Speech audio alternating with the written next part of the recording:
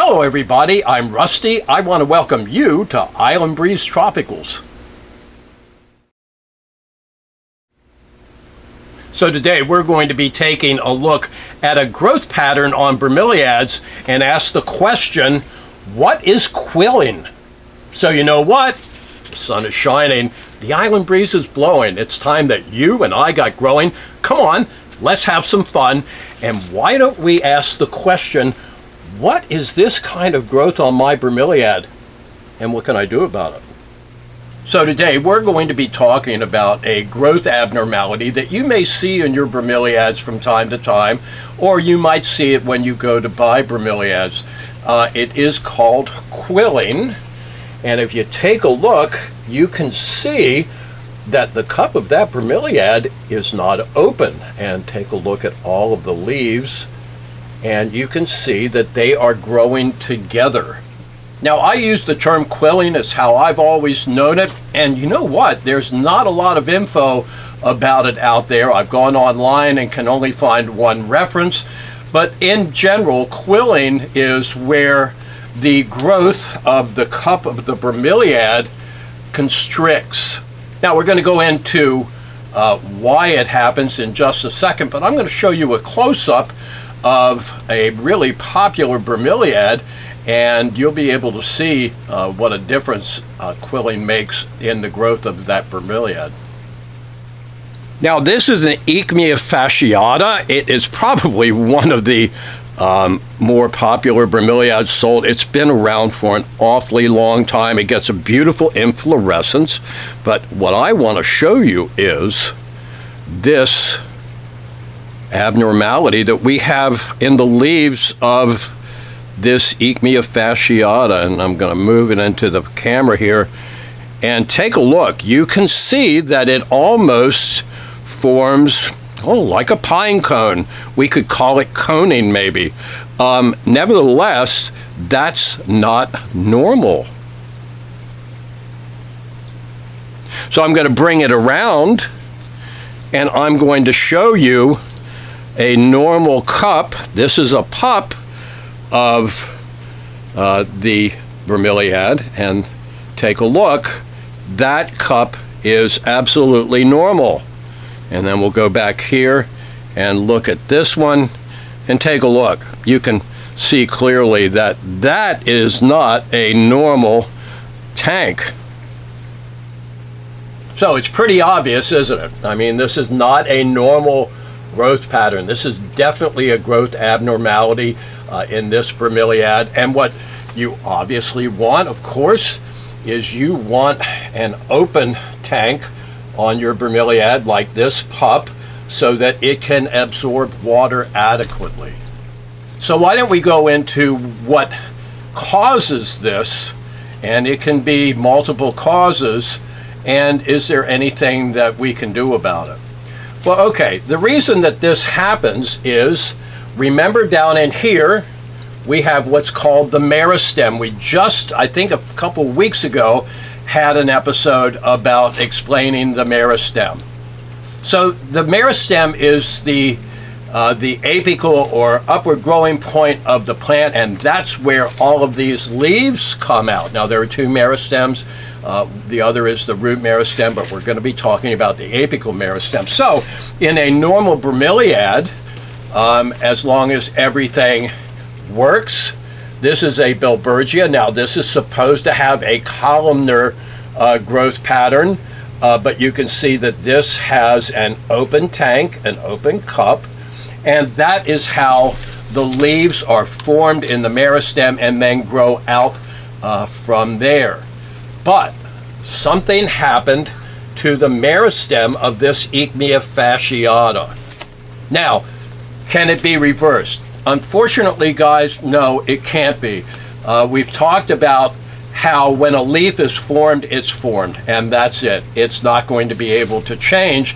And so in this particular plant, this coning or quilling, or whatever we're going to call it, um, is irreversible. So it can actually happen from any number of different causal agents because it is what damages the meristem that causes this. It is a damaged meristem. So anything that damages the meristem can do it. It can be because of chemicals. In some cases, when a bromeliad has been treated to come into flower, it will cause a constriction because of a reaction to the uh, product that was used. It is a malformation that's going to happen right down there at the meristem where the leaves are formed, but it is not uh, centered around one causal agent.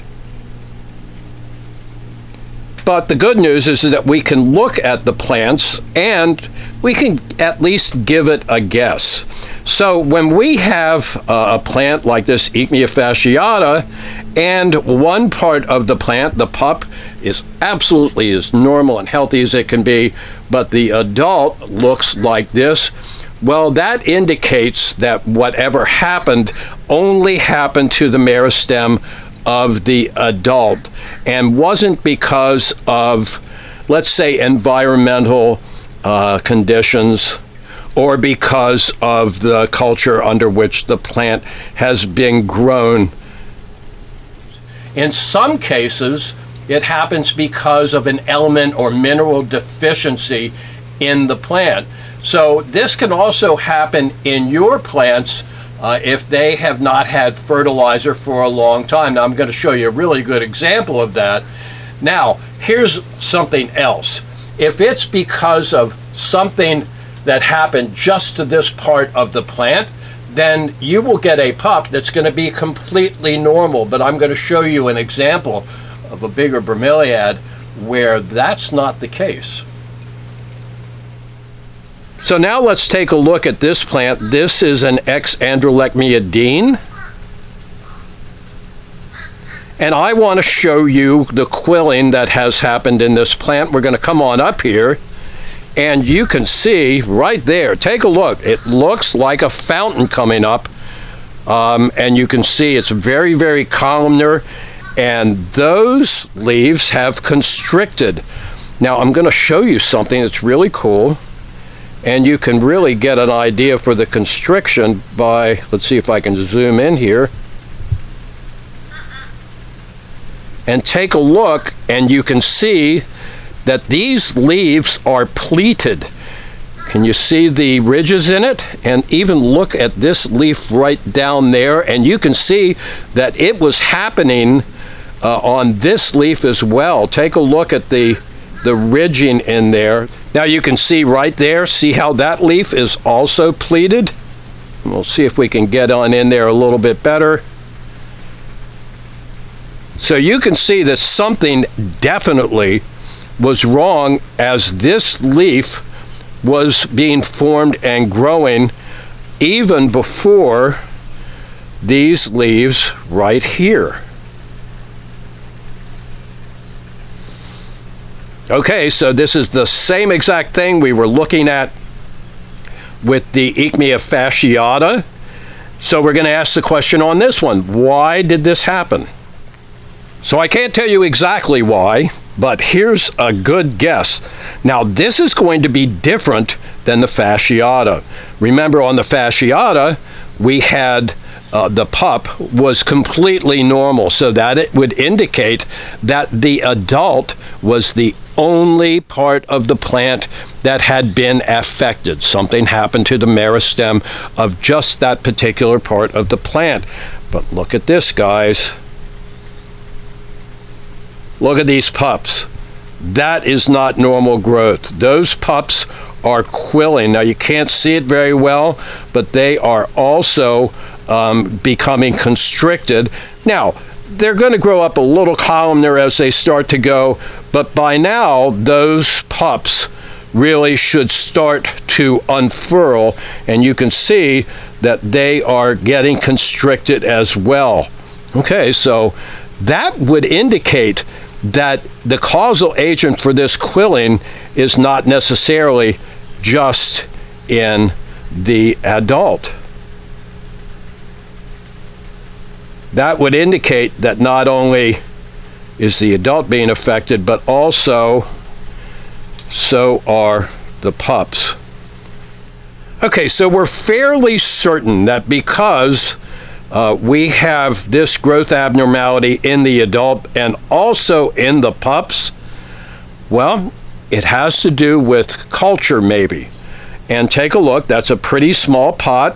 Not abnormal to have a plant this size in a nine inch pot, but if this plant had been grown in this pot for a long time, it's very possible that what fertilizer may have been in the pot has already been used up and or leached out.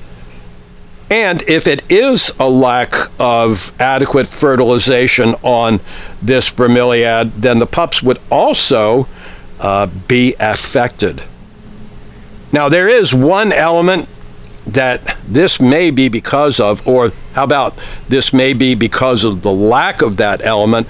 Um, again, you can see that pleating on there. You can tell that the meristem is really, really constricted. And you know what? My guess is that nitrogen, which is uh, very transitory, um, had been all used up and this may be because of a nitrogen deficiency uh, in this plant. Nitrogen uh, not only is a function of chlorophyll, but nitrogen is also uh, an element that causes cell elongation. Hmm, if it's cell elongation and it's not happening, it means that it's constricted, and that's what we're looking at here. Now, we've done a video on fertilization, um, so I'm not going to go into all of the details there. It's in a playlist, and you'll be able to find that by looking through the channel. And I really suggest that you do so. Uh, but uh, if this has not been fertilized adequately, then um, it very well could not have any elements or minerals left in the substrate uh, that it's growing in. Remember, this is a big plant, and even though you don't have to fertilize your bromeliads all the time, if it's in the same pot and it's a big plant, it can really deplete all of those elements and minerals uh, that initially had been placed in when it was put in the pot. So again, I really suggest that you look at our video about fertilization. Um, you do not want to dose your plant uh, with a lot of nitrogen. Uh, remember, again, this cannot be reversed in leaves that are already quilled, but maybe subsequent pups, uh, if they get the right amount uh, of fertilizer, uh, may come out and may be normal. So all is not lost on this plant, but no, you're not going to be able to reverse what you see right there in that um, growth that's coming out of the adult. Now, maybe the pups, uh, because they are not completely formed, uh, may come out of that, but the leaves that you see right there are not going to change. So it's the only change that you're going to see, guys, is in subsequent growth. And in the adult plant, any subsequent growth is going to have to come out of here, which is constricted. Uh, so uh, adding extra fertilizer uh, will not be able to reverse this trend. So anyway, guys, that's it. Quilling is a growth abnormality and it's not normal to the plant. Now, if you want to buy it because it looks so odd, that's okay. I've done it before and it is going to be very, very different. But it is not a normal growth pattern in your bromeliad, so a heads up on that. So no matter where you are, I hope your sun is shining. I hope you have an island breeze blowing. I know that you and I need to keep growing and have lots of fun. Thanks for stopping by, and we'll see you next time.